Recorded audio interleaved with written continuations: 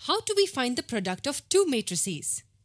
Before we find out how two matrices are multiplied, we need to check for their compatibility. Only if they are compatible can they be multiplied. But wait, how do we check for compatibility? How do we know if two matrices can be multiplied? We will come to this, don't worry. But before that, let me ask you an easy question. Let's say we multiply two numbers, 2 and 3. We know that this also equals 3 times 2. 2 times 3 is equal to 3 times 2. This is the commutative property of multiplication. x multiplied by y will always be equal to y multiplied by x if x and y are numbers. But let's say there are two matrices A and B. Will A times B be always equal to B times A? The answer is not always. The order in which matrices are multiplied matters. So if we find out that A times B is compatible, it does not imply that B times A is compatible. We need to check for compatibility of each of the products.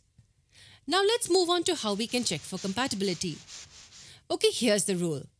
The product AB is compatible if, note that we are talking about A times B here and not B times A. A is the first matrix and B is the second. So the product AB is compatible if the number of columns in matrix A is equal to the number of rows in matrix B. Yes, AB is compatible only if the number of columns in A is equal to the number of rows in B. Let's see a couple of examples. Can this matrix be multiplied with this one? We don't have to multiply, we just need to check the compatibility. Look at the rule again. AB is compatible if the number of columns in A is equal to the number of rows in B. Here the first matrix has one column and the second matrix has one row the number of columns in this matrix is equal to the number of rows in this matrix. And hence, this multiplication is possible. Here's the second example. I encourage you to pause the video and check if this multiplication is possible or not.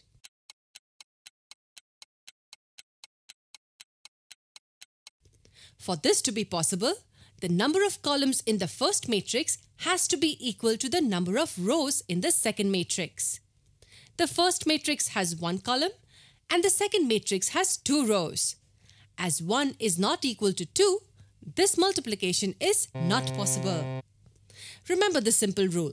The number of columns in the first matrix should be equal to the number of rows in the second. Keeping that in mind, I want you to complete the next sentence. Assuming A and B are matrices, BA will be compatible if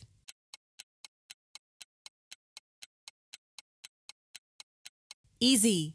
This will be compatible if the number of columns in B is equal to the number of rows in A. It's the same rule. The number of columns in the first matrix should be equal to the number of rows in the second. Is this multiplication possible? Two columns, three rows. No, it is not possible. What about this one? Three columns and three rows? Possible. Now you know that it's easy to find out if two matrices are compatible for multiplication. The number of columns in the first matrix should be equal to the number of rows in the second. Only then will the multiplication be possible. A good way to find out if multiplication is possible is by writing the order of the matrices. Let's see how it helps us. Look at the first example. The first matrix has three rows and one column. Its order will be 3 by 1. The order of the second matrix will be 1 by 2. We see four numbers here. Multiplication is possible only if the second and the third numbers are equal. 1 is equal to 1. Multiplication possible.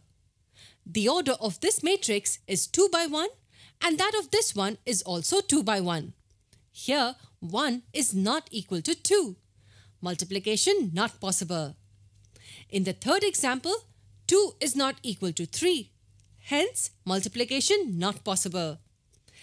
And in the fourth, 3 is equal to 3 hence multiplication is possible. Hold on. Some of you might be thinking that writing the orders is a waste of time. And just finding the number of columns of the first matrix and rows of the second is enough. But there is a reason why writing the orders helps us. Yes, a very important reason which we will cover in the next session.